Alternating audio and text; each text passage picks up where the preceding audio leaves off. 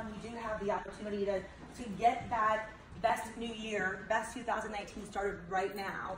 And actually, um, I think back to campaign one 2018 this year, which probably happened in 2017 too. Right? Yeah. yeah. It's so confusing. But um, I know of several representatives who made President's Club or higher in campaign one thanks to double dollars. Um, did you? You made President's Club in campaign one 2018. So, Yeah. sitting in this very room is somebody who can attest to that, and we need to give that a round of applause. All right. So, if this is not like pie in the sky, oh, some people can do this, like some people that we actually know, because several people did with the launch of the Spira. But you know, as I look in our campaign three, what's new? Have you seen our campaign three, what's new? I just placed my campaign one Yeah. today. Oh mm, my goodness. Um, so I'm gonna be drinking lots of hydration and eating my power green somehow. Um, but just so many amazing things in store for us in 2019, and um, it really does start right now. But of course, there's a sense of urgency because some's deliverable by Christmas. So I just I want to really implore you guys, get started now. Don't wait.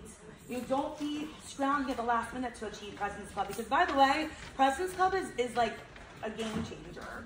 Th- Those of you who've achieved it know, like, it's a game changer for your business to know that you're guaranteed 40% no matter what. Go on vacation and have a small order, 40%.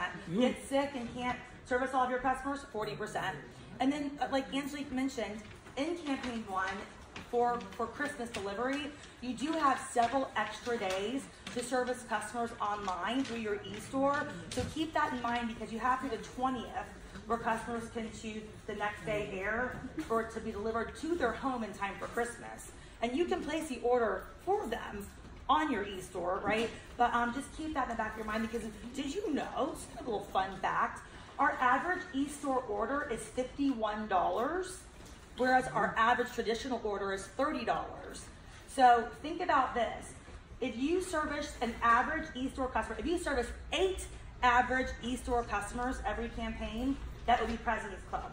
Eight Wow. customers on your e-store uh, campaign would be President's Club because their average order size is so much higher. So anyways, I just had to throw that out there because like Angelique, and, and really I want it for all of you all to have President's Club and have the best year ever and make as much money as possible. And it really does start right now. So that said, there was a lot of money being made on this Avon Star team in 2018. What did you say that 160